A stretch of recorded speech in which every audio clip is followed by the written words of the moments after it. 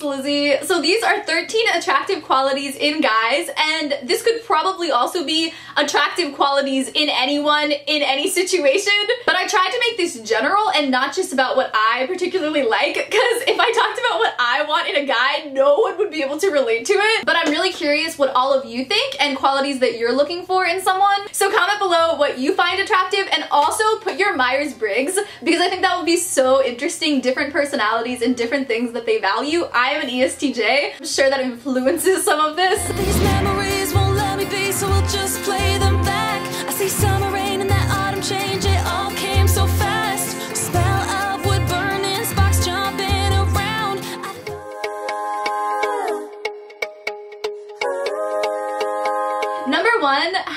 Strong opinions and being assertive. I really love hearing people's ideas on how they think about the world.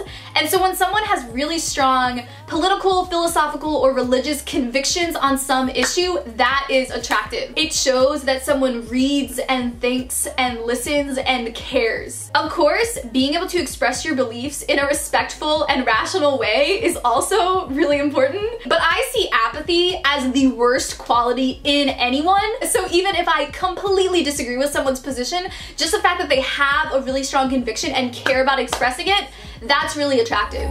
There's nothing subtle here. Ah, in my heart, an empty space bigger than it used to. Number two, loving doing dishes. This really shows someone's character in that it expresses initiative. And it is a servant-hearted mentality that all of us should strive to have. A guy I was with in college, when we first started dating, we were at a campus ministry retreat and you could sign up to do kitchen duty to help cook or clean. And every single mealtime, he was in the kitchen doing the dishes, helping clean. I remember at the time thinking it was so impressive. Also, two of my Christian guy friends who I actually worked with in Thailand on mission trips, it just stood out to me that every time they came to my apartment, they would immediately do the dishes, they would dry them, they would put them away. It was just this above and beyond attitude of serving and helping out. And this is a practical thing too to having a successful marriage because you're gonna have to live with someone in the future and you're gonna share a kitchen and make food together. I remember growing up as a little girl watching my parents interact and they would always argue with each other over who gets to do the dishes. They would be like, no, let me do the dishes. No, no, no, let me do the dishes. And that is relationship goals. And that's what I want in the future as well.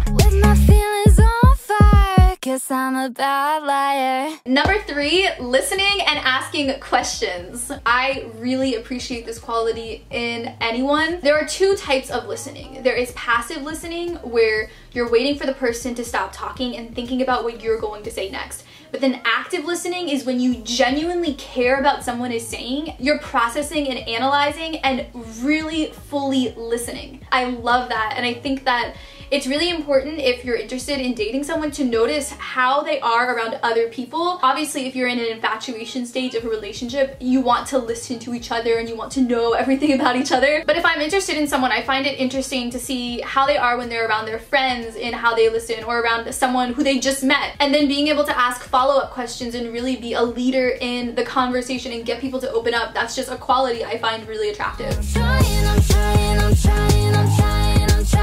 Number four, having a high work ethic. The inner ESTJ in me, this is everything. And this also goes along with just being passionate about something in your life. If someone works really hard in school or at their job or at some activity or art form that they love, that is so amazing. To me, having energy and drive and this 100% attitude and wanting excellence in whatever you're doing, I really love seeing that in other people.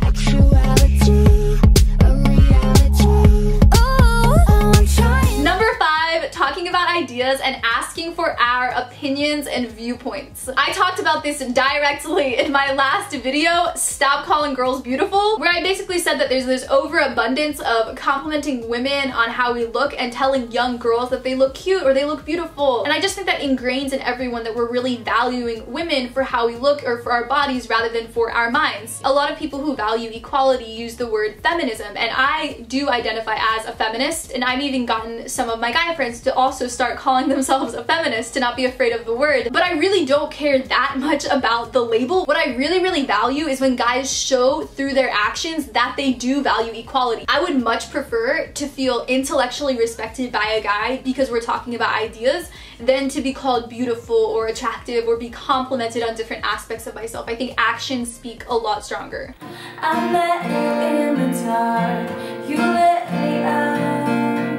Six, changing themselves. Anytime a guy verbalizes an aspect of himself that is awful and wrong and that needs to change, when someone tells me that they're working on this aspect of themselves or they're praying about it, it's the same attitude of being assertive and having ambition just in their character development. About a year ago, I was talking to a guy and we were having a conversation and he was explaining his mentality and making a certain decision and he was explaining to me his thought process like if I choose this, I'm more likely to work on this and I really need to change change this part of myself. Just admitting, yeah, I struggle with this and I'm working on changing it. Hearing that was very impressive and it caused me to respect him even more. A huge part of Christianity is recognizing our flaws and becoming better people. And if someone does not have this attitude of wanting to change aspects of themselves, that will be awful for a relationship because there's a lot of times when someone will be doing something unintentionally that will be hurting you or hurting someone else. And if you communicate this to someone and they don't think anything is wrong with them and they're not working on changing aspects of themselves or being a better person,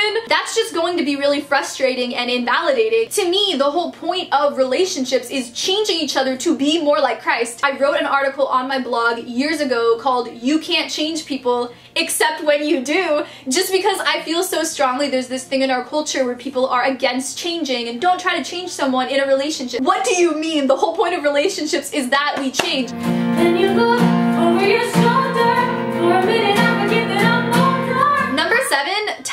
When they cry. One of the things that makes me the most angry about our culture is how guys are taught to not be emotional and that feeling strongly or crying is a sign of weakness and that it's not masculine. That lie is so hurtful and it discourages men from being vulnerable and from fully knowing themselves emotionally. It is the most damaging thing. And so when I meet a guy who's been able to overcome that mindset, it's really refreshing. I was talking to a guy earlier this year and he was telling me, yeah, I was at church and I cried, I felt so close to God, and it meant so much to me because he trusted me and it was meaningful crying. And this is something that I noticed with my guy best friends as well, where they will talk about how they cried if something really hurt them or affected them, or even if they were just watching a movie and felt some strong emotion. And sometimes it's presented in such a chill way, like, yeah, that made me cry. And I love and am so grateful that amongst my friends, it is this normalizing of guys having emotions. But when it comes to relationships,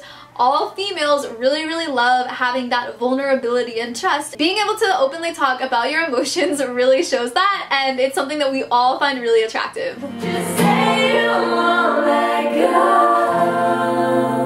Number eight, being able to apologize and say, I'm sorry. There's something going around right now that females apologize too much. I think that that is true with insignificant or kind of tiny things. But I think that everyone, regardless of gender, needs to be comfortable apologizing to other people when they come to you and tell you that you have hurt them or done something to upset them. This one relationship I was in, I remember after it ended, he had hurt me so much done so many things that had directly made me cry.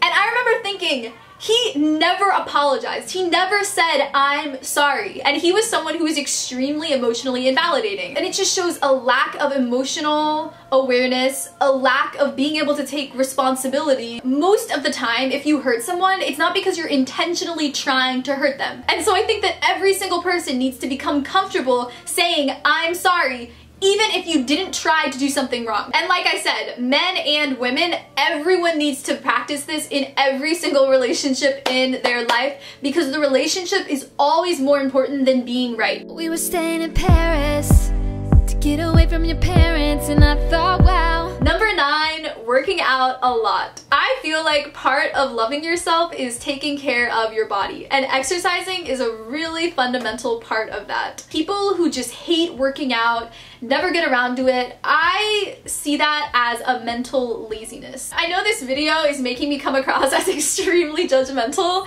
I definitely am. That's something I always am working on. And I understand that some guys lift primarily because they care about how their body looks and that's the only reason that they go to the gym. But I'm someone who also goes to the gym a lot and so I see guys weightlifting and it's something that's very intensive and takes a lot of time and consistency to build up muscles and to maintain. And so I really, really respect any guy who goes to the gym a lot. Even when it is that cliche frat guy type who's checking himself out in the mirror, I respect that guy because he is consistently going to the gym. Out on the terrace, we breathe in the air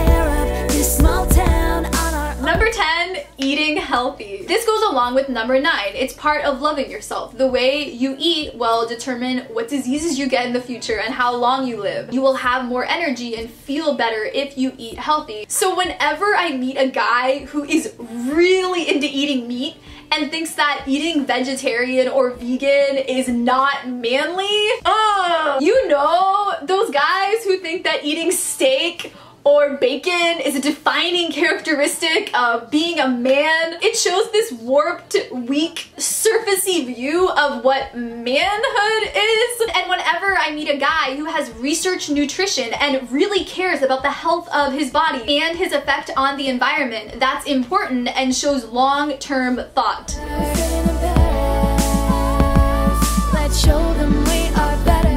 Number 11, being able to cook. So this kind of goes along with being an independent person. Anyone, male or female, who doesn't know how to cook and is past college age or partway through college, I just have less respect for. There's no excuse to not learn how to cook. There's tons of recipes online. There are entire YouTube channels dedicated to teaching you how to cook. I understand if you grow up in a way that your family doesn't cook and you never learned, but you don't need to remain helpless. We all have the basic human need to eat. And I don't understand how everyone doesn't just have this evolutionary desire to know how to cook and feed themselves. I love cooking and I make food for my friends and family a lot. But also, my guy friends will also make food for me, and it's this give and take, and I think that's really, really healthy.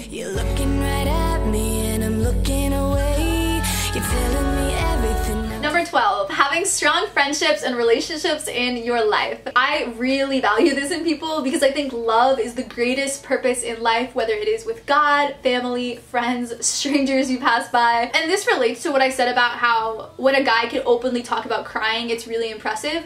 I think it's the same thing because American culture is very focused on productivity and success. And I think we have a really warped view of what success means. What matters the most in life are your relationships. And so when I see a guy who has really strong friendships with other people and is really close to his family and likes having long, in depth conversations with people in his life and just prioritizes them and loves spending time with people, that is really attractive. And something else is just being able to make time for people. I think a lot of people view their time as their own. And so when someone is willing to drop whatever they're doing and go help someone, go be with a friend. And something else that I've kind of noticed as a red flag is that if someone is not able to have vulnerability in their relationships with their family or with a lot of close friends, it's really unhealthy. I think that some people have this attitude where they're always in a relationship and they just do not value their friends as much. And that's not having a balanced view in life. And so I think everyone should really, really, really prioritize friendships.